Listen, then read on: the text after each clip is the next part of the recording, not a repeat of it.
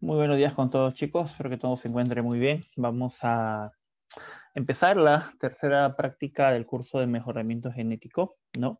En este caso, eh, recordar previamente que nosotros habíamos trabajado conceptos generales, ¿no? En la parte de las bases genéticas. ¿Y esto por qué tenerlo a colación en este momento?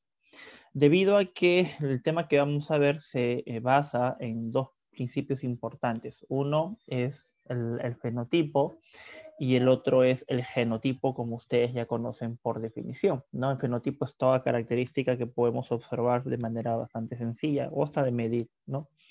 Mientras que cuando hablamos del genotipo está relacionado básicamente a los alelos o tipos de alelos que tengamos en cada gen que va de alguna manera a ser expresado y que puede tener un interés o no, ¿no? En algunas características es más de un gen en realidad, ¿no? Como ustedes saben. Y estos dos factores son siempre y siempre van a ir de la mano porque es lo que queremos nosotros intervenir, ¿no? Cuando nosotros veíamos en la herencia mendeliana, teníamos un genotipo heterocigota, ¿no? Donde podíamos ver un dominante, ¿no? En este caso, que se expresaba, o teníamos el homocigota dominante que definitivamente expresaba esa misma característica y, el y teníamos un homocigota recesivo donde veíamos una nueva característica. ¿no? Entonces, ahí básicamente era, era ver lo que se podía expresar de manera mendeliana y bastante sencilla. Sin embargo, esta expresión, este nivel de expresión que nosotros ya conocemos que se da gracias a la segregación, ¿no? Eh, puede ser afectada básicamente por el ambiente. Entonces ahí entra a tallar un tercer factor importante, ¿no? El ambiente. Y este ambiente definitivamente alterará la expresión fenotípica, ¿no? En determinadas características. Entonces vamos a ver una interrelación que tiene que ver entre, ¿no? La parte genética, la parte ambiental y de esa manera aparece nuestro fenotipo en particular. Entonces ahí entra a tallar justamente el tema de este tema de hoy día tiene que ver con justamente la heredabilidad, ¿no? Es un tema que nosotros tenemos que tener en cuenta. Está relacionado con la posibilidad, probabilidad de que una característica determinada en una población en la siguiente generación se exprese de igual manera, en menor o en mayor, dependiendo justamente de la y también dependiendo de las variancias que tenemos que conocer, ¿no? Tanto genética como fenotípica y ahora hemos mencionado la ambiental también, ¿no? Y definitivamente ustedes saben que en algunos contextos vamos a ver que hay una implicancia muy importante más para el lado genético que para el lado ambiental y viceversa en la expresión de lo que va a ser justamente nuestra característica de interés en este caso, ¿no? Entonces, el propósito que vamos a tener en esta sesión el día de hoy básicamente es que el estudiante pueda explicar posteriormente, ¿no? En base siempre a fuentes científicas, ¿no? Cómo determinar el valor de la habilidad. Eso es lo que nosotros esperamos que ustedes saben. Pero no solamente por un tema netamente de fórmulas, ¿no? De que aplico valores y ya está y se acabó, ¿no? Sino determinar justamente este valor de la habilidad, saberlo aplicar inclusive, ¿no? ¿no? En el mejoramiento genético. El, el, tema es bastante, bastante interesante y bastante amplio, ¿no? Porque ahí vamos a ver justamente cuando hablamos de variancia genética, cuando hablamos de variancia este, ambiental, cuando hablamos de la variancia fenotípica, por qué hay tipos de heredabilidad, qué nombres normalmente se les conocen, ¿no? ¿Qué significa si la heredabilidad es cero? ¿Qué significa si la heredabilidad es uno? ¿no? Que es algo que también vamos a ver, ¿no? Entonces, todo ese aspecto tiene que ver justamente con el análisis del día de hoy. Ahora, vamos a introducir al tema viendo un video que está de manera libre en el YouTube para que ustedes puedan no ver la explicación básicamente del tema de la habilidad y posteriormente vamos a darle énfasis en algunos puntos importantes no en, el, en este video no que ustedes van a van a observar, ¿no? En la cual definitivamente tenemos que, que, ver y notar de que van a haber ciertas condiciones eh, genéticas básicas, ¿no? Que había que, que, recordar. Entonces, para esto vamos a pasar al, al video, ¿no? Para que ustedes puedan apreciarlo ahora. Muy bien, entonces eh, vamos a poner el video y me voy a apagar el micrófono. Hola, en este vídeo vamos a hacer una breve introducción al concepto de heredabilidad. El objetivo es que seáis capaces de calcular la heredabilidad en sentido amplio o en sentido estricto y aplicarla al desarrollo de programas de mejora. Vamos a empezar. Hablaremos en primer lugar de los caracteres cuantitativos y de cómo se pueden descomponer en el efecto del genotipo, el ambiente o la interacción. A continuación, hablaremos de heredabilidad en sentido amplio y finalizaremos con el concepto de heredabilidad en sentido estricto. Los caracteres cuantitativos son caracteres que tienen una distribución continua, normalmente normal, caracterizados por una media y una varianza. El fenotipo P que estamos visualizando depende del genotipo G, el ambiente E, y de la interacción entre ambos, G por E. Igualmente, la varianza fenotípica que observamos también depende de la varianza genotípica, de la varianza ambiental y de la interacción entre ambas. Dentro del genotipo encontraremos efectos dominantes, aditivos. Los efectos dominantes que van a establecer cuál es el fenotipo final eh, potencial que puede tener una planta debido a su genotipo tienen el inconveniente de que el homocigoto y el heterocigoto no se pueden distinguir. En el caso de los efectos aditivos, homocigoto y heterocigoto sí que se distinguen, puesto que cada alelo aditivo que añadimos aumenta la expresión del carácter. Por último, los efectos epistáticos dependen de la interacción entre alelos de genes distintos. Los efectos dominantes responden mal a la selección, puesto que al no distinguir homocigotos y heterocigotos se mantienen los heterocigotos y se produce mucha segregación. Los efectos aditivos sí que responden bien a la selección, mientras que por su lado los efectos epistáticos son difíciles de seleccionar, entre otras cosas porque para seleccionarlos bien necesitaríamos un número muy elevado de plantas.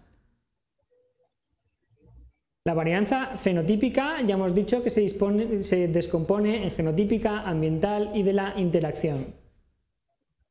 Pero dentro de la varianza genotípica también la podemos descomponer entre varianza dominante, varianza aditiva y varianza epistática o de la interacción. Imaginaros que tenemos dos líneas puras claramente diferenciadas en su fenotipo. Al ser líneas puras, realmente no hay diferencias genotípicas entre los individuos, por tanto la varianza genotípica es cero. Eso quiere decir que la varianza fenotípica que estamos observando necesariamente corresponde a varianza ambiental. Si cruzamos estas dos líneas y obtenemos una F1, veremos que la segregación también está muy contenida. ¿Por qué? Porque de nuevo no hay diferencias en los genotipos. La varianza genotípica es cero y la varianza fenotípica que observamos se debe también al ambiente. Si autofecundamos la F1 y obtenemos la F2, veremos un nivel mucho más amplio de variación. En este caso sí que hay varianza genotípica que se deberá a efectos dominantes, aditivos o epistáticos. También veremos una varianza fenotípica debido a la varianza genotípica y a la varianza ambiental. Si excluimos eh, la varianza de la interacción, por ser mucho menor que las otras dos, podemos hacer un cálculo de la varianza genética y de la varianza ambiental. ¿Cómo lo hacemos? La varianza ambiental hemos dicho que la podemos calcular con la varianza fenotípica de la línea pura 1, de la línea pura 2 o de la F1. Por tanto, la mejor estima sería la media entre las tres varianzas fenotípicas. La varianza fenotípica de la F2 sería la suma de varianza genotípica y ambiental. Si despejamos la varianza genotípica, esta sería igual a la varianza de la F2 menos la ambiental, que precisamente habríamos calculado antes. De esta forma podemos tener una estima de la varianza genotípica. Bueno, pues la heredabilidad en sentido amplio representa la proporción de la varianza fenotípica relacionada con la varianza genotípica, es decir, el ratio VG dividido entre VP. Es decir, cómo las diferencias en el fenotipo que estamos viendo se relacionan con diferencias en los genotipos. Si tenemos una heredabilidad en sentido amplio baja, puede deberse a dos cosas. En primer lugar, porque no haya diferencias genéticas importantes entre los individuos. Esto querría decir que el carácter es muy importante y ya está fijado en la, población. Por otro lado, podría deberse a que el efecto del ambiente sobre la, sobre la variación es muy fuerte. En este caso, la eficiencia en la selección será muy baja, porque cuando seleccionamos una planta con un valor fenotípico muy elevado, no necesariamente se debe a su genotipo, puede deberse al ambiente, y eso hará que la descendencia no sea como la esperábamos. Por otro lado, si tenemos una heredabilidad en sentido amplio alta, quiere decir que el efecto del ambiente sobre la variación es relativamente pequeño y que además hay diferencias genéticas en la población. Esto nos lleva a un concepto distinto, que es la heredabilidad en sentido estricto. En este caso la representamos como una h minúscula al cuadrado y representa la proporción de la varianza fenotípica que se relaciona con la varianza genotípica aditiva. En este caso, si yo tengo una heredabilidad en sentido estricto baja, puede deberse de nuevo a que no haya diferencias genéticas aditivas importantes entre los individuos de la población o a que el efecto del ambiente sobre la variación es muy fuerte. En cualquiera de los dos casos, la eficiencia de la selección va a ser muy baja. Si yo tengo una, heredabilidad en sentido estricto muy alta, quiere decir que el efecto del ambiente sobre la variación es relativamente pequeño y además hay diferencias genéticas aditivas en la población.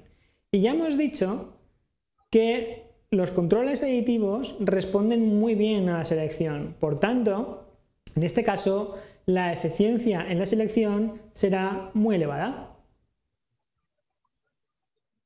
De hecho, la heredabilidad en sentido estricto también la podemos calcular como la respuesta a la selección dividido por el diferencial de selección. ¿Qué quiere decir esto? Imaginaros que tenemos una población con media M0. Cogemos los individuos que tienen mayor valor fenotípico con una media M1 y los cruzamos entre sí y obtenemos su descendencia. Esta descendencia tendrá una media M2. Bueno, el diferencial de selección será la diferencia entre M1 y M0 mientras que la respuesta a la selección será la diferencia entre M2 y M0. Sustituyendo estos valores, tendríamos un cálculo bastante sencillo de la heredabilidad en sentido estricto. ¿Qué ocurre si continuamos el proceso y eh, seguimos seleccionando los mejores individuos y los vamos cruzando entre sí? Si el modelo es realmente aditivo, el que controla el carácter, lo que veríamos es que en la siguiente generación hemos aumentado un poco el valor fenotípico y así sucesivamente. Pero si comparamos las medias de cada eh, generación, veremos que la heredabilidad en sentido estricto tiende a disminuir. ¿Por qué? Porque la respuesta a la selección es cada vez menor. Y esto se debe a que cada vez hay menos alelos aditivos por fijar. Por otro lado, otro de los efectos que vamos a ver es que la varianza va a ser cada vez menor. ¿Por qué? Porque cada vez nos vamos aproximando al genotipo ideal con todos los alelos aditivos. En resumen, la varianza fenotípica se puede descomponer entre la suma de varianza genotípica, ambiental y de la interacción. La varianza genotípica se puede descomponer entre la varianza genotípica dominante, aditiva y epistática. La heredabilidad en sentido amplio representa la proporción de la varianza genotípica sobre la fenotípica, mientras que la heredabilidad en sentido estricto representa la proporción de la varianza genotípica aditiva sobre la fenotípica, es decir, cómo responder un carácter a la ya que la heredabilidad en sentido estricto representa la proporción entre la respuesta a la selección y el diferencial de selección. Tenéis más información en el libro Conceptos de Genética de Club y Colaboradores, tenéis ahí la edición de 2008 pero hay posteriores, y en el libro Principles of Plant Genetics and Breeding de Aqua. Gracias por vuestra atención. Muy bien, entonces interesante la explicación que nos dan aquí en la Universidad de Valencia y sobre todo porque es, es muy realmente fácil de entender y que nos, nos, da luces sobre los conceptos básicos de heredabilidad, ¿no? Y que probablemente mm, para el que se ha olvidado, ¿no? El tema de cómo es que sucede esto a través del tiempo, ¿no? Les ha ido explicando. Entonces vamos ahora un poco a, a, no a resumir necesariamente lo del video, pero sí a dar algunos puntos importantes en nuestra presentación sobre ambas, ambos tipos de habilidades que tenemos que tener en cuenta en este caso, ¿no? Entonces, por ejemplo, eh, cuando hablamos de, de la heredabilidad, se habla muchísimo acerca de lo que es el grado de determinación genética también, ¿no? ¿Por qué? Recordemos que nosotros queremos saber cuál es la magnitud que va a tener la variación genética, ¿no? Para un carácter en particular. En este caso es un carácter cuantitativo, ¿no? Recordemos que estamos dentro de la genética cuantitativa en este caso, ¿no? Pero también se puede hacer inclusive este, hallar y, y, este, y calcular valores de la covariación entre dos caracteres, ¿no? O sea, ya yendo un poco más allá, ¿no? Eh, pero en ese momento nos vamos a, enfocar en un solo carácter para poder hablar de la heredabilidad, ¿no? En este caso, ¿no? En la cual es, es muy importante tener en cuenta, ¿no? Entonces, el grado de determinación genética, como les comentaba, tiene como, como objetivo primordial determinar la proporción de esa variación fenotípica que estamos observando y que hablaba justamente el investigador de la Universidad de Valencia, ¿no? Donde explicaba que se está viendo en el tiempo, ¿no? Y que se le puede atribuir a la parte genética, a la dotación genética, cuánto de mis genes están en este caso interviniendo, atribuyen, dan a la variación fenotípica, ¿no? De los individuos que estamos investigando, obviamente, que pueden ser de la población en general o de un grupo seleccionado, frente a la dotación que viene por parte del medio ambiente. O sea, eso es básicamente lo que nos ayuda a la determinación genética, también conocido en este caso como heredabilidad, ¿no? Porque eso es básicamente lo que estamos haciendo. Ahora, e, ese término de heredabilidad, ¿no? Eh, ya habíamos visto que hay de dos tipos. Entonces, ahí en particular, cuando nosotros queremos saber la heredabilidad de sentido amplio, es lo que en algunos contextos se les llama grado de determinación genética. ¿Por qué? Porque acá viene el aporte completo, ¿no? O sea, no solamente, recuerden que en el video explicaba que la parte genética se podía descomponer en lo que da justamente el valor aditivo, el valor epistático, el valor de la dominancia. Cada uno de ellos tiene algo que aportar y atribuir a la variancia netamente genética. Y como es genética general, abarca todo esto, entonces es un sentido bastante amplio, ¿no? ¿No? Y que, como estamos viendo, siempre va a ser dividido entre la variancia fenotípica en este caso, ¿no? Básicamente con eso podemos hallar la heredabilidad en sentido amplio que se, se simboliza con una h al cuadrado en este caso, ¿no? Entonces, eh, ¿por qué el cuadrado? No? Porque el exponente hace referencia al hecho de que este índice es una razón de varianzas, ¿no? Y eh, por tanto de valores cuadráticos, ¿no? Ahora, el, el valor de la habilidad en sentido amplio, ¿no? Oscila entre 0 y 1. ¿no? Esa es la parte importante. ¿Qué significan los extremos? Porque normalmente aquí es donde tenemos que tener mucho cuidado. Los valores extremos van a implicar, en primer lugar, ¿no? Si la heredabilidad en sentido amplio fuese valor cero, quiere decir que toda esa variancia fenotípica que estamos viendo, ¿no? En este caso es de origen ambiental, ¿no? Completamente de origen ambiental. O sea, toda esa variancia que yo veo es eh, básicamente fenotípica, o sea, es ambiental, o sea, el fenotipo está variando por el ambiente, no por el gen, gen prácticamente no hace nada, por así decirlo, ¿no?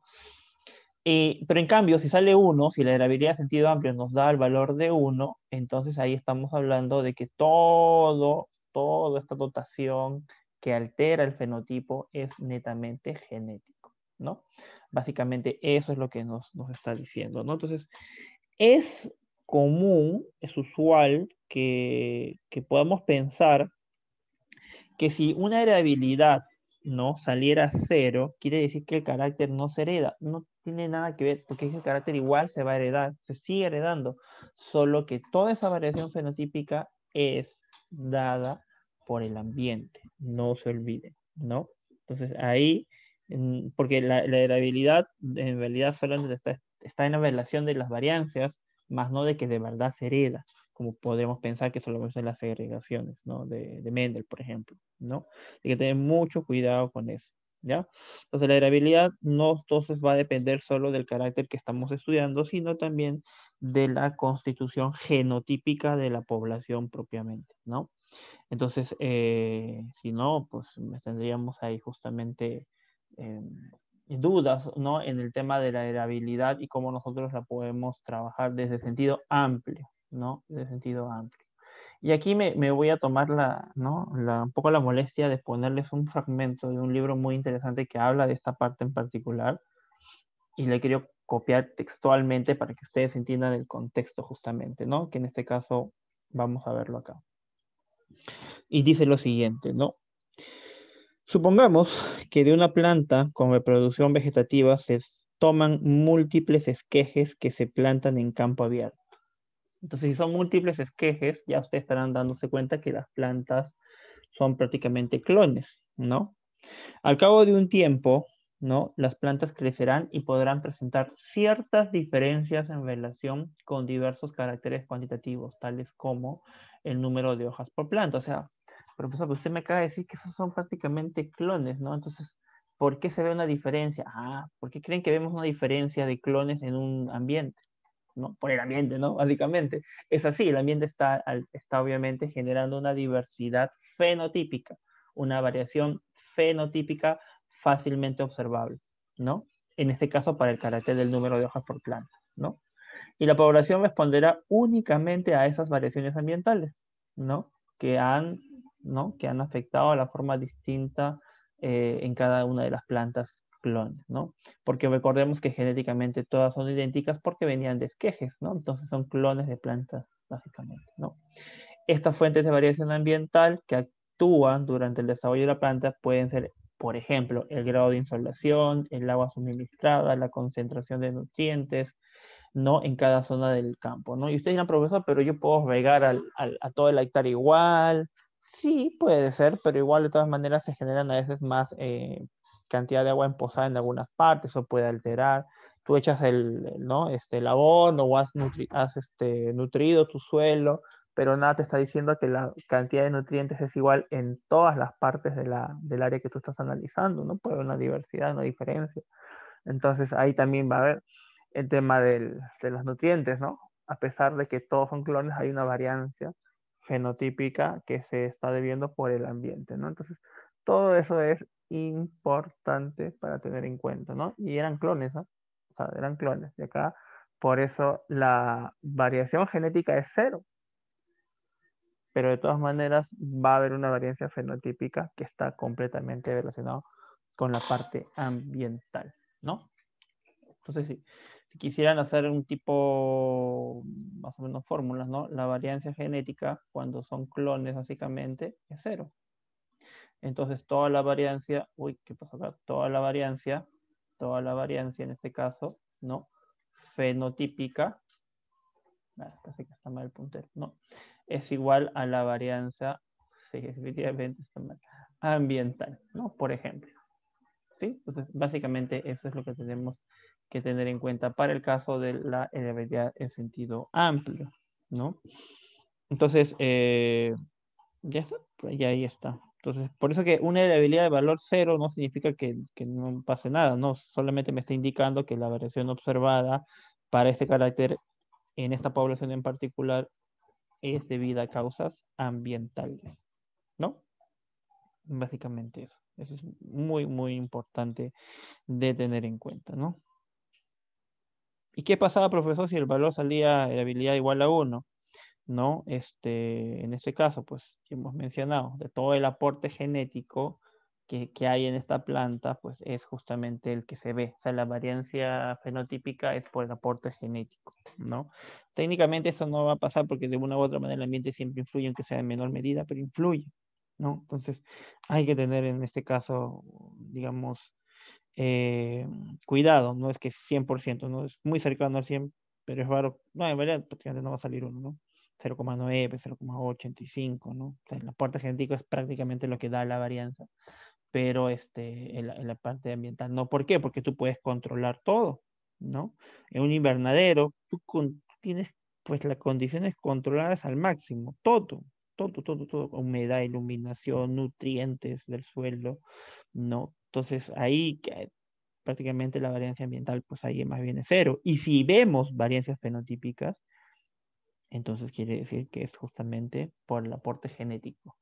Pero si no vemos nada de diferencias, que también básicamente es porque no hay, porque hemos controlado el ambiente y la parte genética en este caso este, no varía porque son clones, ¿no? Entonces se dan cuenta, entonces hay que tener mucho cuidado y eso es lo que yo les voy a pedir en sus exámenes, ¿no? O sea, el criterio de, de lo que ustedes lean, interpreten y expliquen. Y ahí por eso un examen no va a ser igual, porque cada uno va a explicarlo desde un punto de vista diferente, ¿no? Desde un punto de vista mm, este, propio, con sus, ¿no? con sus palabras, sus explicaciones, ¿no? Y tiene que explicarlo con bases científicas, ¿no? Entonces va a ser raro que todos justamente tengan el mismo artículo base. Podría ser que varios lo tengan, ¿no? Pero inclusive cuando uno lo lee y lo parafrasea, no parafraseamos igual. Entonces también por ahí van a ver, eso es parte de la actividad más, más adelante les voy a explicar que voy a esperar que ustedes realicen para esta, esta clase número 3, ¿no? Que va a ser diferente a lo que se ha estado desarrollando.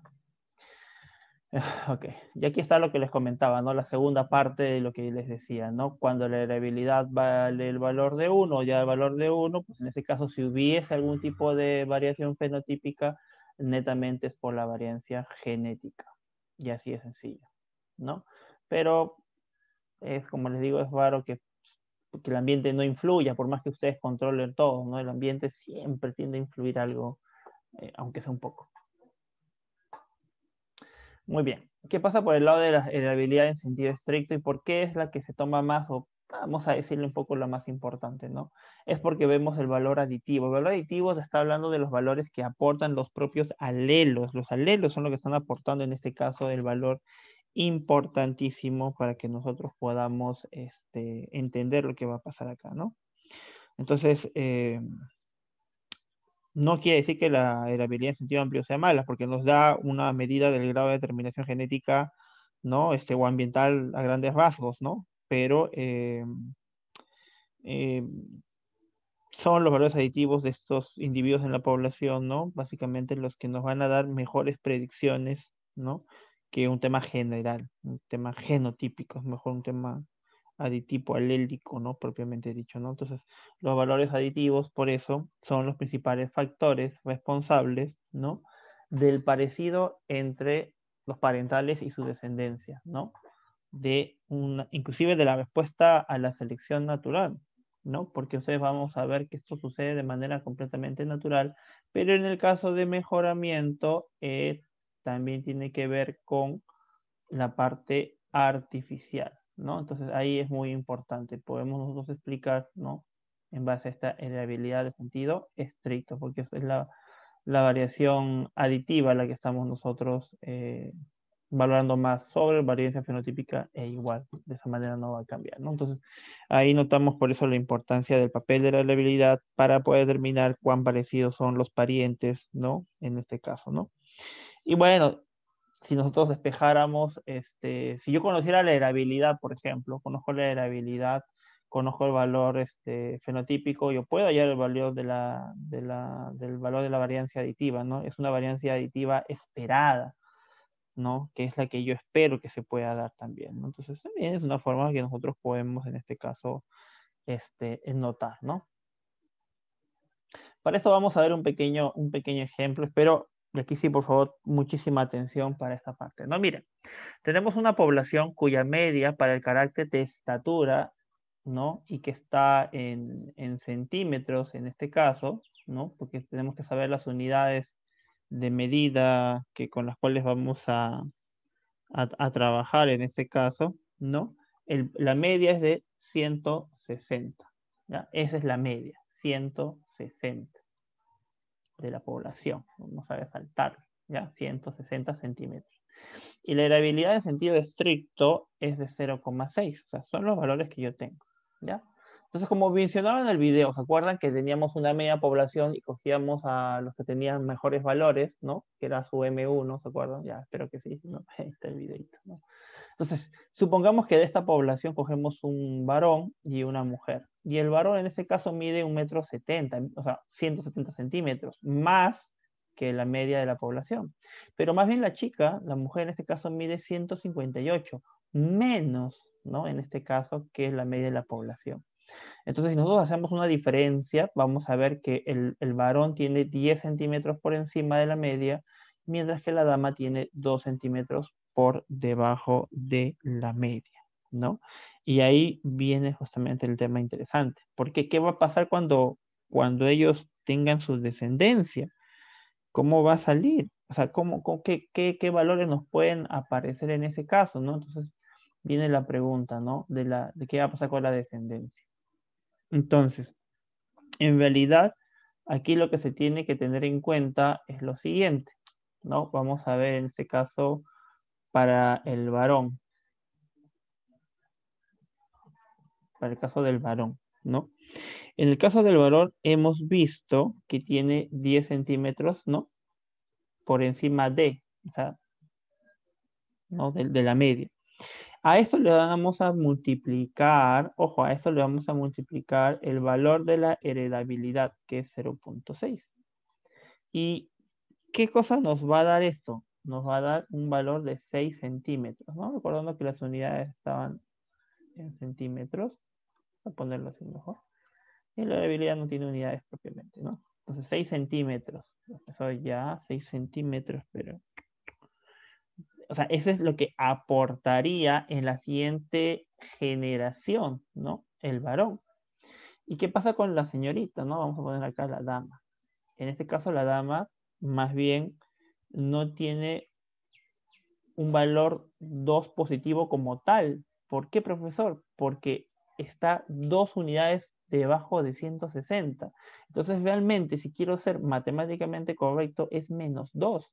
Profesor, pero ¿cómo puede ser una característica menos 2? Tranquilo, la matemática aguanta todo. Vamos a ver después el significado biológico, ¿no? Es menos 2 porque la chica mide 158, 2 centímetros menos que la media de la población, está menos 2.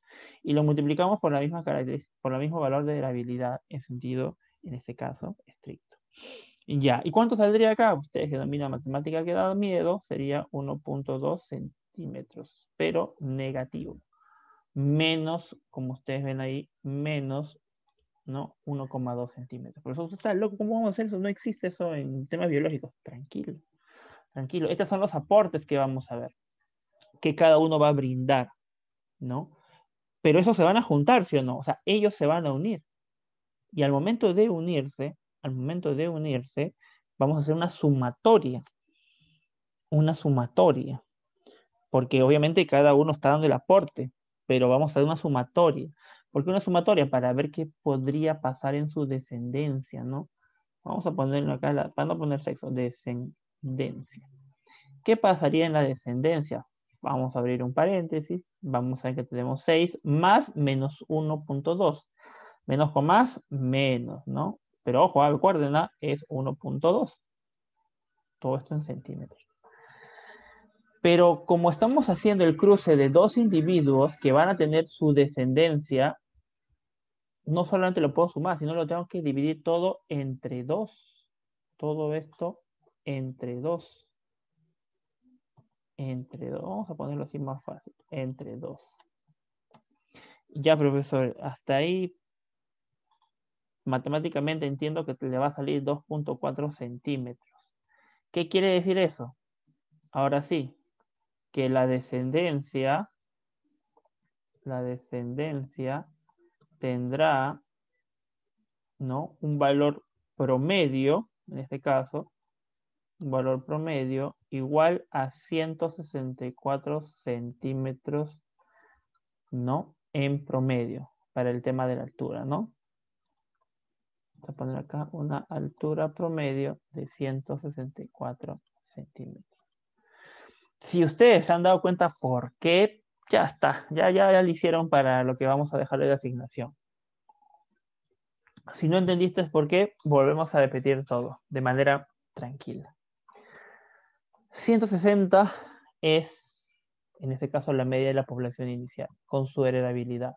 Cogemos un varón alto, una señorita un poco más bajita de la media, y básicamente analizamos lo que va a pasar aquí. Y lo que vemos es que el caballero tiene 10 centímetros por encima de la media y la señorita 2 centímetros por debajo. Por eso, cuando queremos conocer el aporte que daría el valor, sería los 10 centímetros por su valor de habilidad, que sería 6 centímetros. Pero la dama, como es 2 menos de la media, es menos 2 centímetros por 0,6 de la habilidad, dándonos 1, o menos 1,2 centímetros.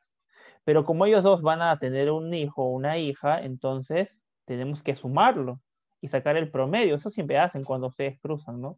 Sumamos y sacamos un promedio. Una vez sacado este promedio, nos da 2.4. Acá se suma, promedio es suma, no es besta, sino que como él es negativo, se pone negativo ¿no?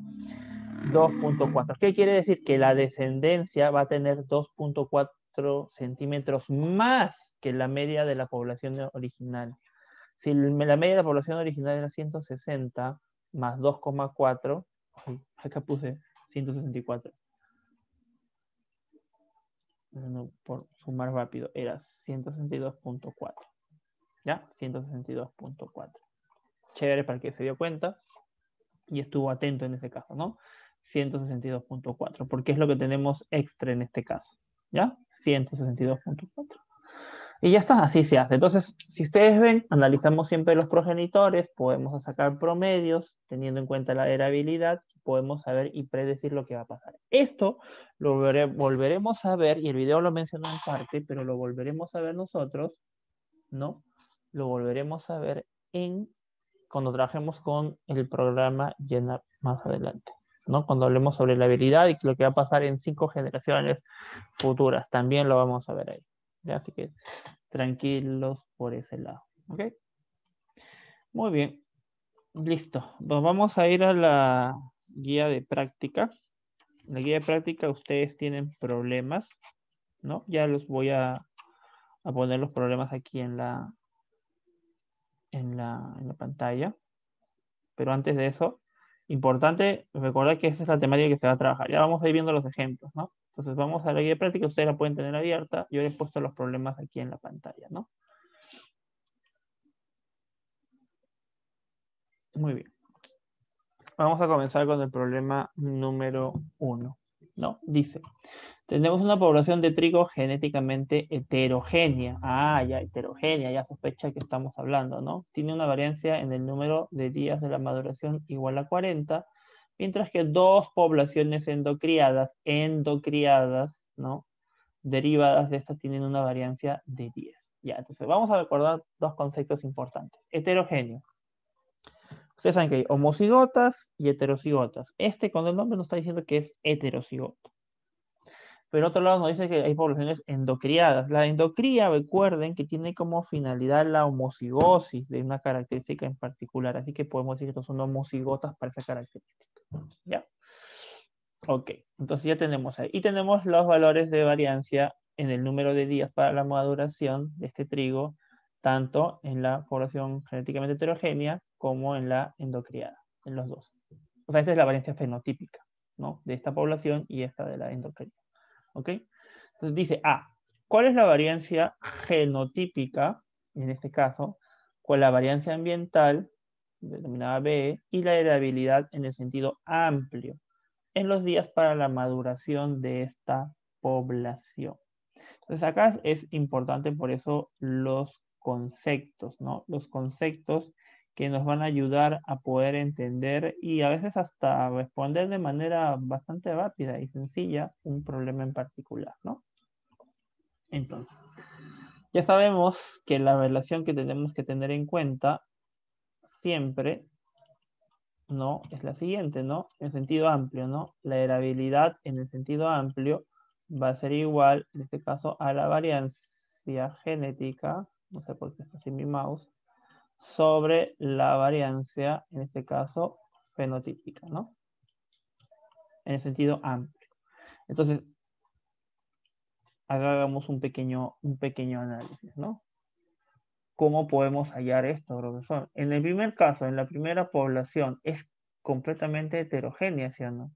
Es completamente heterogénea, entonces los genotipos son heterogéneos, ¿no? La maduración, o sea, el fenotipo, está acá. ¿Sí o no? Variancia fenotípica. Este es 40. el único dato que tengo en la primera población es este. Y en la segunda, que dice que son endocriadas, la variancia fenotípica es de 10. Esta es la que me va a dar más luces. Vamos a ponerlo de otro color para que ustedes se den cuenta. ¿no? Miren, voy a trabajar con la variancia de la población endocriada. Entonces, la variancia, en este caso, fenotípica, como ustedes saben, va a ser igual a qué? A la sumatoria de la variancia genotípica más la variancia ambiental. ¿Sí? Entonces, miren, ¿ah? como esta es una población endocriada, esta estoy trabajando, no la primera, esta de acá, si es endocría, esto es homocigota, es decir, las características es homocigota, o sea, es, es homogénea. Entonces, no hay variancia genotípica, porque es el mismo genotipo. Entonces, automáticamente yo estoy viendo qué cosa? Estoy viendo que la variancia genotípica es cero. Y si es cero, puedes despreciarlo, así como te despreció ella. Igual, chao, ya está. ¿Y qué pasó? Te quedas con que la variancia fenotípica es igual a la variancia ambiental. Profesor, pero la variancia fenotípica para esta población endocrina es de 10. Entonces, ¿cuánto vale la variancia ambiental? Vale 10. Así de sencillo. Vale 10.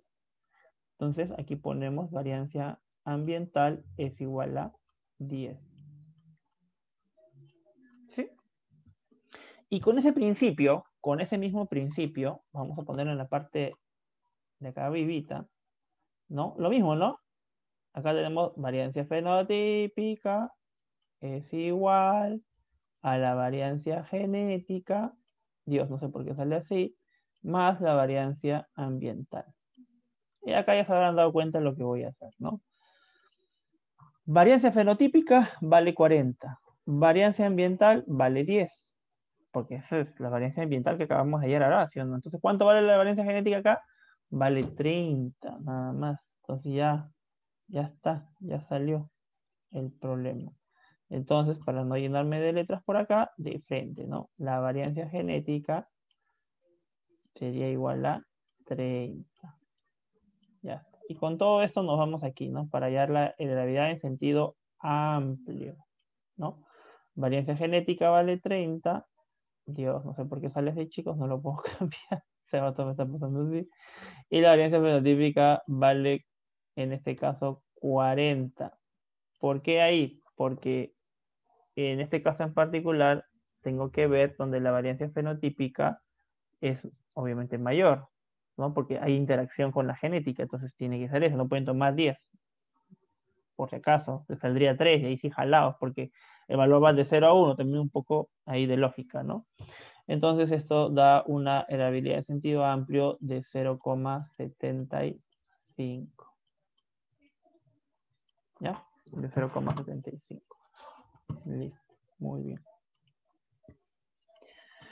Si las líneas endocriadas, ahora vamos a la pregunta B. Si las líneas endocriadas fueran cruzadas, ¿qué variancia se podría predecir para el carácter días por maduración en la generación F1?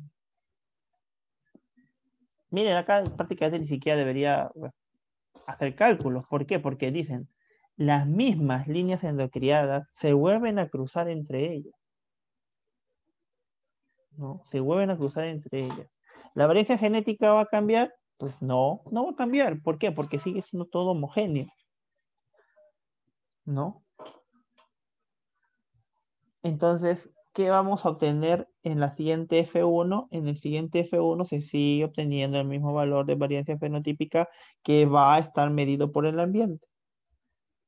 en este caso sería 10. ¿Ya? De nuevo, ¿ah? Porque recuerden que las líneas endocriadas son homogéneas, genéticamente homogéneas, y las sigo cruzando entre ellas, o sea, las sigo haciendo. Entonces, sigue siendo homogéneo. La variancia genética sigue siendo cero. Y por ende, la variancia fenotípica seguirá siendo dependiente del ambiente. Y como ya habíamos calculado, ese valor es el de 10. Ya ni siquiera tendré que escribirlo. Ya está, ya. Más nada, como se dice. Muy bien. Y así sale esta, este problema. simplemente lógica, más, pierden tiempo calculando, pues ya salió ya con, con dos, tres pasitos nomás que hemos recordado ahorita. Vamos al problema ahora número 2. ¿Ya? A ver, en una población experimental de tribolium, que son escarabajos de la harina, el largo del cuerpo muestra una distribución continua con una media de 6 milímetros. Un grupo de machos y hembras con un largo de cuerpo de 9 milímetros fueron removidos y entrecruzados. ¿Qué quiere decir eso?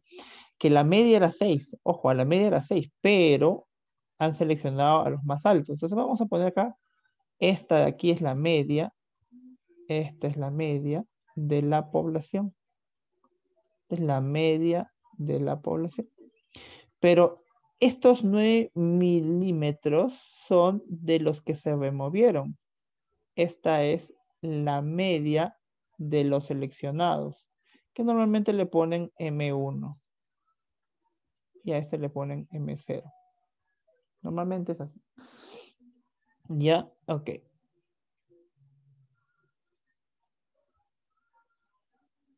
El largo del cuerpo de su descendencia es el promedio 7.2. Miren, ¿no?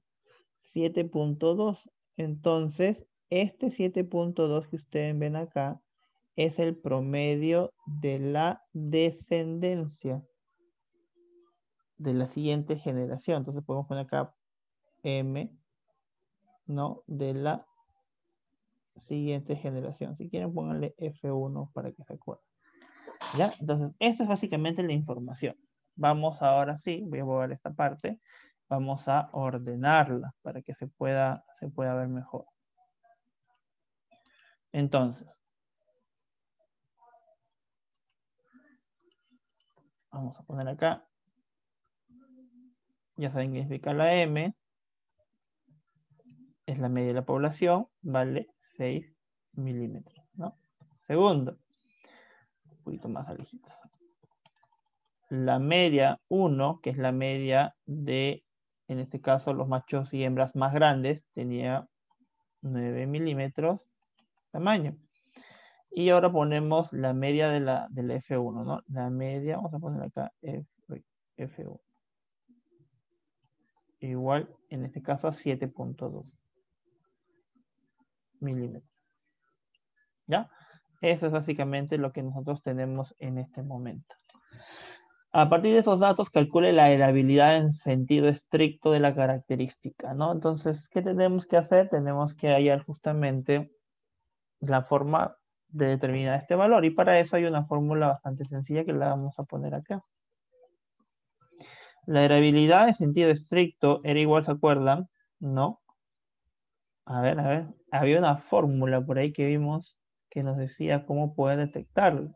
Y estaba relacionado con el diferencial de selección y con la respuesta a la selección en este caso. Muy bien, y eso lo vamos a poner aquí. Entonces sería respuesta de la selección sobre diferencial de la selección. Y ahí tenemos todo, profesor, respuesta de la selección. Ah, y ahí es donde tienen que acordarse respuesta de la selección y diferencial de la selección. Primero vamos el más fácil. El más fácil es la diferencial de selección. Vamos a ponerlo acá. El DS. El DS va a ser igual a qué? A el valor que tenían los progenitores seleccionados, que en este caso tenían 9 milímetros, 9, y menos, porque es diferencial, menos el promedio de la población. 6 en este caso, ¿no? ¿Cuánto nos va a dar? 3 milímetros. Perfecto. Nos vamos ahora a la, vamos a ponerlo bajito mejor, a la respuesta de la selección.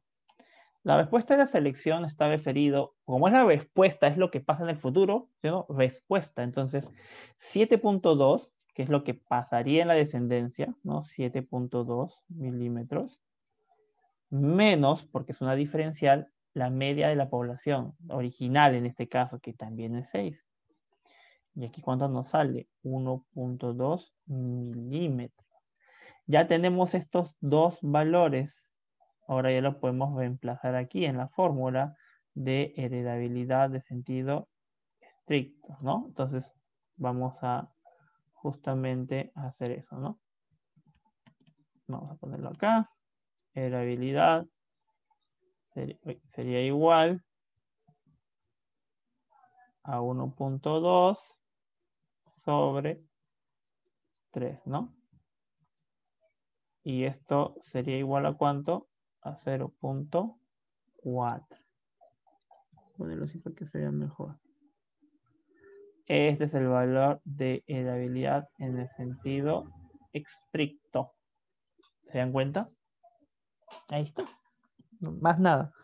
Entonces, pero esa parte. Y eso lo vamos a volver a ver después, como les decía, con un programa, porque vamos a ver lo que pasa en el futuro. A que pasa en la generación 2, generación 3, generación. Ahí lo van a ver todos ustedes.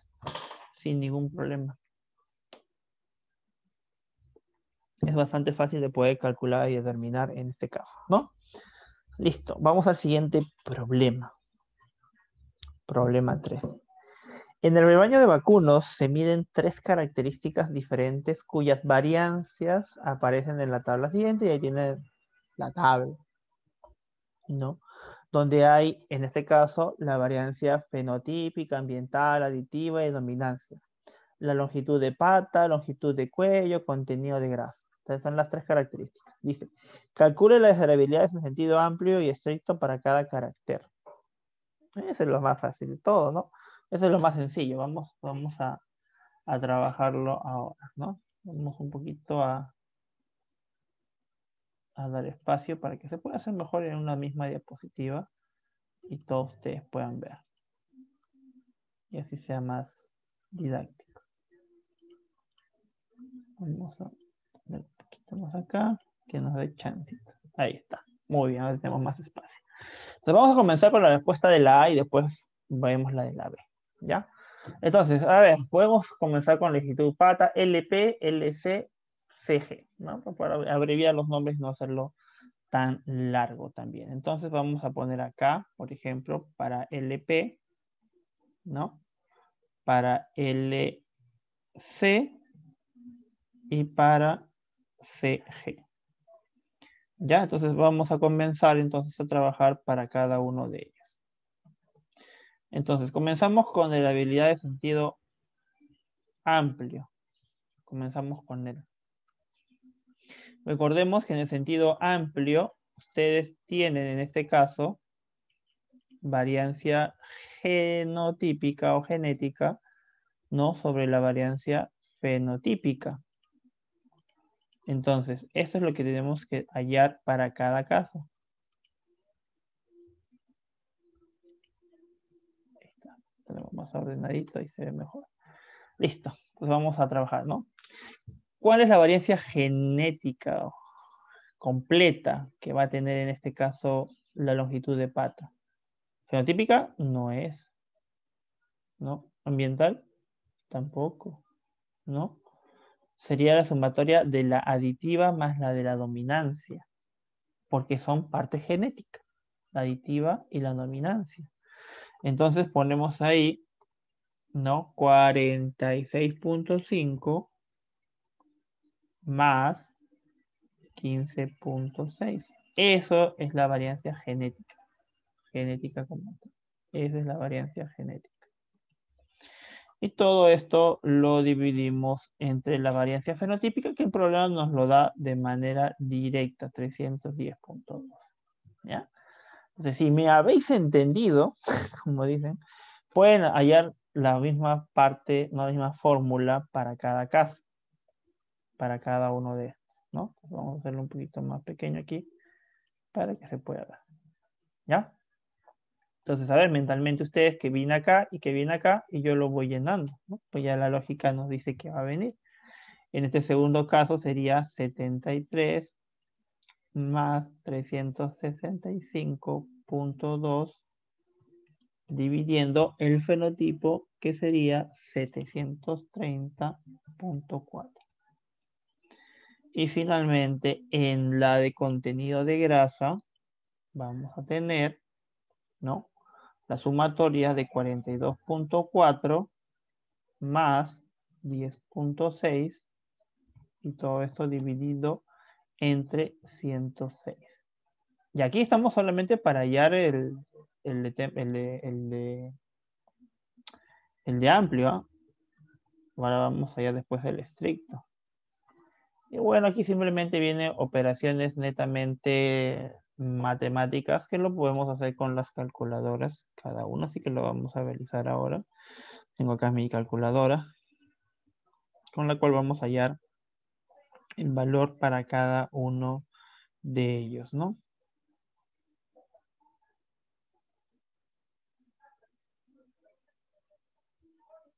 En el primer caso, una bastante baja, en sentido amplio, ¿no? 0.2, casi nada. En el segundo, vamos a ver cuánto nos da de valor.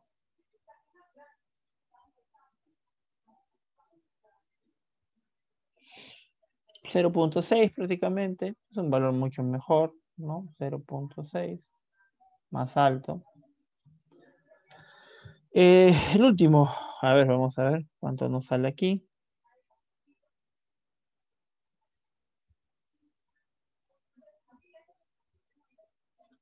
Intermedio, eh, es un valor interesante, ¿no? 0.5. ¿No? Entonces, ahora podemos ir aprovechando y responder lo siguiente. Dice, ¿qué carácter respondería mejor a la selección? ¿Qué carácter, perdón, respondería mejor a la selección? Si vemos desde el punto de vista de, amplio, ¿no? de la heredabilidad del sentido amplio, vamos a notar que en este caso es longitud de cuello la que respondería mejor. Pero vamos a ver qué pasa con la de sentido estricto, pues, ¿no? O sea, vamos a, ver, a ver, qué pasa con la de sentido estricto. Porque también tenemos que, que calcularlo, ¿no? Saber exactamente si estamos bien o si estamos por el camino equivocado. Pero podemos corregirlo todavía, ¿no? Entonces vamos a hallar estos valores. Y acá sí, presten mucha atención. La heredabilidad de sentido estricto en este caso es el valor aditivo. El valor aditivo menos el tema fenotípico. Nada más. Entonces veamos el primer ejemplo y ahí ustedes pueden continuar. El valor aditivo para la longitud de la pata, 46, perdón, 46.5, valor aditivo, y eso entre la variancia fenotípica, ¿no? Entonces ya se habrán dado cuenta que para el siguiente vamos a hacer lo mismo. Para longitud de cuello, 73, ¿no? Sobre 730.4, imagínense. Y finalmente, en el contenido de grasa, vamos a ver, aditivo es 42.4 dividido entre 106. Y ahí está. Ahí está. ¿Qué queda? Solamente queda que ustedes hay en los valores con su calculadora y vamos a comparar. Entonces, en el primer caso, 46.5 entre 310.2 nos da un valor bastante más bajo todavía, ¿no? 0.15, ya eso no, no, no, no, inspira mucho. ¿ah?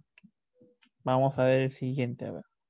Que supuestamente por el sentido amplio era la mejor característica de poder mejorar o trabajar en el mejoramiento, ¿no? Vamos a ver ahora qué pasa.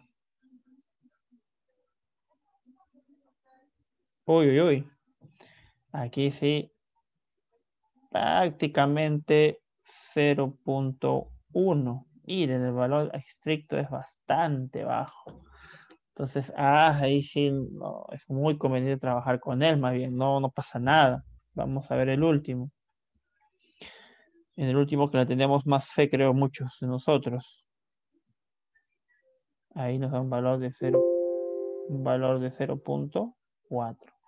Entonces, miren cómo en el caso de la habilidad de sentido amplio, en el caso de sentido amplio, más eh, nos, nos, daba como, como que la longitud del cuello el, más importante, pero ahora vemos que para el caso de la estricta sería la de contenido de grasa. Y la pregunta sería, ¿con cuál trabajo, profesor? ¿Cuál me conviene?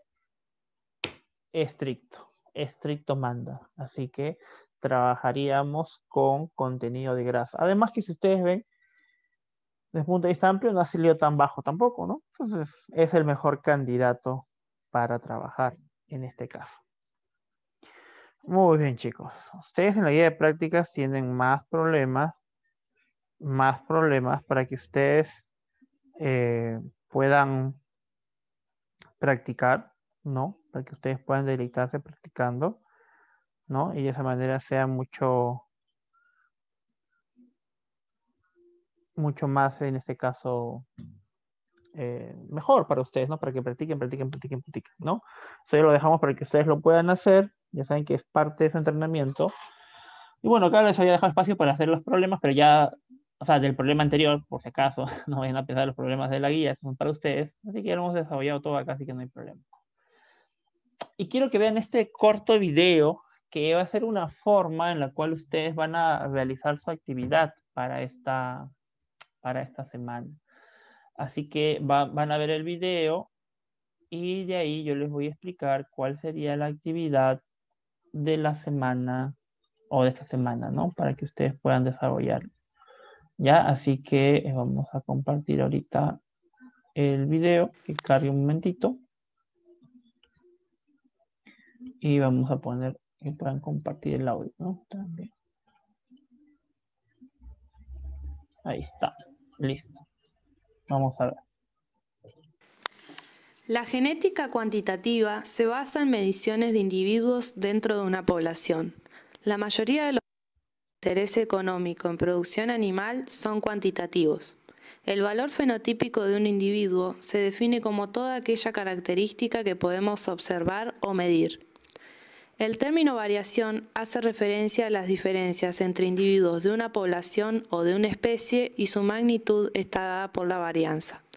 El mérito genético no es observable y se puede predecir mediante parámetros genéticos que son relaciones entre las varianzas. La varianza fenotípica está dada por la sumatoria de el valor genético aditivo, el valor genético por dominancia y el valor genético por interacciones. Además, se le adiciona el efecto ambiental permanente que afecta al individuo y el efecto ambiental temporario. Considerando todos los elementos que componen el valor fenotípico de un individuo, solo el valor genético aditivo es heredable en un 50%. Las mediciones de los fenotipos observados en la población nos permite estimar la media y la varianza de la misma. Se define como ambiente a todas las circunstancias no genéticas que influyen sobre el genotipo para determinar el fenotipo. Por ejemplo, la alimentación, el manejo general, la estación de nacimiento, la edad de la madre al parto y el estado sanitario. La influencia de los efectos ambientales aleatorios influye sobre la expresión del genotipo. Así entonces, el fenotipo es el resultado del valor genético del individuo y la desviación que el ambiente causa en una u otra dirección. Los efectos ambientales son independientes del genotipo y generan una fuente de variación. Estos se pueden clasificar en dos grupos. En permanentes son aquellos que una vez que actúan sobre el individuo afectan su comportamiento por el resto de su vida productiva. Por ejemplo, si una vaca pierde por una infección un cuarto mamario, nunca podrá manifestar todo su potencial genético para la producción de leche. También, una deficiencia nutricional prolongada durante un periodo de crecimiento puede causar un efecto permanente. Utilizados en cuantitativa para evaluar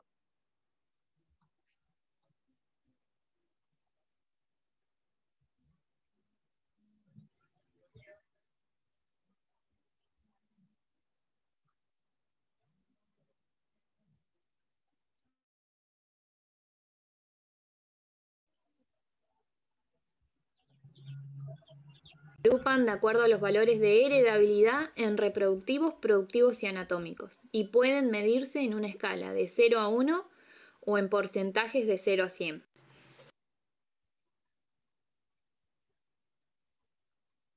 Se deben exclusivamente a causas ambientales, y nada de la variación del carácter es genético. Si su valor es 1, la manifestación del fenotipo está dada exclusivamente por la composición genética y no hay efecto del ambiente sobre el mismo.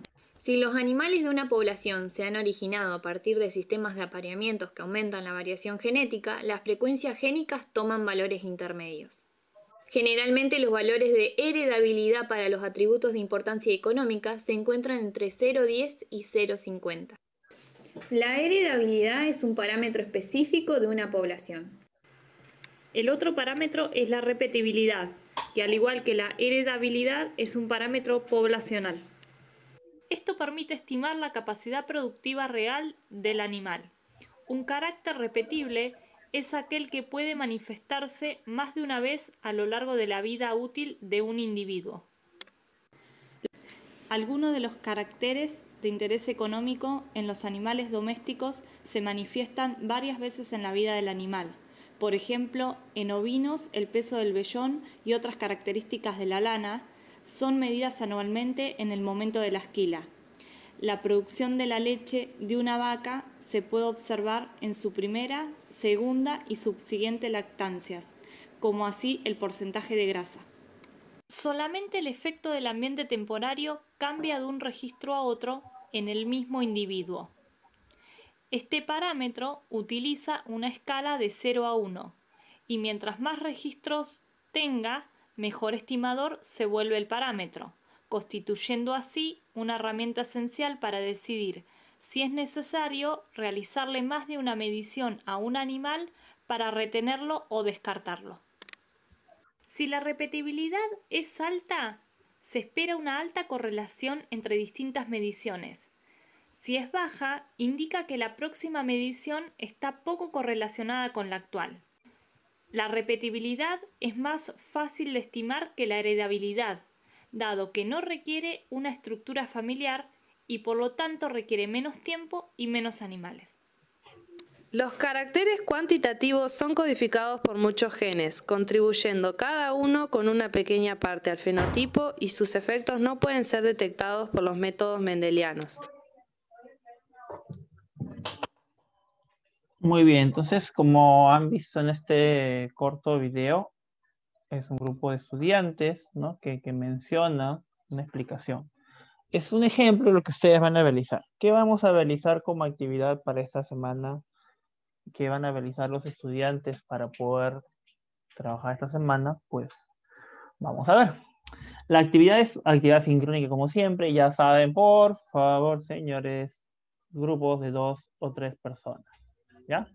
Profesor, no me conozco con mis compañeros, no, no soy muy tímido, soy muy tímida, me escriben, me avisan lo antes posible para decirles, chicos, miren, acá su compañero o compañera no tiene grupo, trabajen. Profesor, que no, que no lo conozco, trabajen juntos. Si no coordinan bien, me avisan y para la siguiente actividad, pues, los cambios, los organizo. Un tema que quiero tomarme acá un par de minutos es de que los biólogos en general trabajamos con múltiples profesiones y entre múltiples colegas, chicos. Y ustedes tienen que aprender lo mismo. Tienen que aprender a trabajar con personas que no necesariamente puedan conocer o tener tanta confianza. Porque al final lo que vamos a medir es el producto de su trabajo, ¿no? Eh, así que por favor, espero que aquí no haya problemas para la siguiente, para esta actividad en realidad. ¿no? Es el puesto que el video es grupal va a tener una duración de 5 máximo 6 minutos y ustedes lo van a grabar en celular, la verdad no tienen que gastar nada de, cámaras caras, ¿no? un celular simplemente. Y lo suben a YouTube o lo pueden subir al Drive que tiene el correo de la universidad, porque de esta manera se mantiene dentro de la parte corporativa. Como ustedes tienen correo de la universidad, lo pueden hacer ahí. Decir, que tienen como 50 gigas para cargar acá y acá en YouTube, pues no hay problema, ¿ya? Entonces no se olviden de, esos son los parámetros para la presentación desde ese punto de vista y lo que tienen que hacer es lo siguiente. Eh, acá les dejo una pregunta, como ustedes ven aquí en, en, pantalla, ¿no? En este caso, como ustedes ven, tenemos una pregunta. Esta pregunta es la que ustedes van a tener que responder, ¿ya? La van a responder en, en el video. Y dirán, ah, profesor, eso no me demoro ni, ni dos minutos en responderlo. Ya, pero eh, tiene unas características muy particulares el video, que se las voy a explicar justo ahora. Número uno, ustedes tienen que, para poder resolver este problema, ustedes tienen que haber visto, ¿no? Obviamente, cómo lo vamos a, a resolver. Entonces, en el video grupal, en este video, ustedes tienen que explicar, ¿no? Bueno, una persona puede leer la pregunta, clásico, que lo lea, ¿no? pueden leerlo completo o por separado porque hay dos subpreguntas, ¿no? Por ejemplo, pueden decir, ¿no? Para la primera parte que nos preguntan esto, bueno, y aplicaremos lo siguiente, como ustedes saben, la habilidad de sentido amplio, esta, ta, ta, ta, estricta, ta, ta, ta. Y los cálculos son así. Y lo hacen. sea, es una explicación breve, puntual, específica de la vida de sentido amplio y estricto que estamos aplicando acá y después la descripción de la explicación del problema en su resolución. Pocas palabras, es como cuando ustedes salen a la, a la pizarra en clase presencial y ustedes desarrollan el problema y el profesor les pregunta, ¿y cómo lo hiciste? ¿Y qué significa? Ya, imagínense que todo eso tiene que estar en el video. ¿Ya? es básicamente como cuando ustedes salían a la pizarra emocionados, profesor, aquí está el problema, hago esto, hago lo otro, elimino, multiplico, sumo esto, junto, no sé. ¿Ya? Eso es lo que ustedes tienen que hacer, ¿no? Y nada más. Entonces ahí lo que se está evaluando siempre es el desenvolvimiento, el, el poder explicar, entender un lenguaje asertivo, científico para un alumno de octavo ciclo, ¿no? Entonces, eh, ya, con eso, si lo hacen muy bien, chicos, 20 para todos. Lo hacen más o menos, ya, pues notará, la nota dependerá de eso. ¿no? Les voy a mandar una rúbrica de evaluación de este video para que ustedes tengan también, ¿no? Em, para que sepan cómo es lo mínimo que pedimos que ustedes puedan desenvolver y explicar. Porque si no, resuelves problemas, pero ahora explica. Uno de los problemas más grandes que he visto a veces muchos de mis colegas de mi promoción, por lo menos, es que no sabían explicar. Muy buenos, pero no sabían explicar. Entonces ahí ustedes también tienen que, profesor, pero soy tímido para la cámara. Nadie te está grabando, literalmente te vas a grabar tú solo o por ahí un familiar que te puede ayudar y después alguien junta y lo, y lo, y lo une todo, ¿ya? Así que esa es la, la, ¿cómo se llama? la actividad para esta semana. Ya saben que cualquier duda, mi correo electrónico o por el Teams. Y aquí les dejo la referencia por la cual este, he, he, tomado yo como ejemplo la parte teórica del día de hoy. Es un buen libro, se los recomiendo. No sé si está en PDF, la verdad, pero bueno, ustedes que son capos de la, de la informática probablemente lo puedan encontrar y lo puedan utilizar como referencia si gustan, ¿no? Eh, y nada, chicos, como siempre ha sido un gusto estar con ustedes y nos vemos la próxima semana.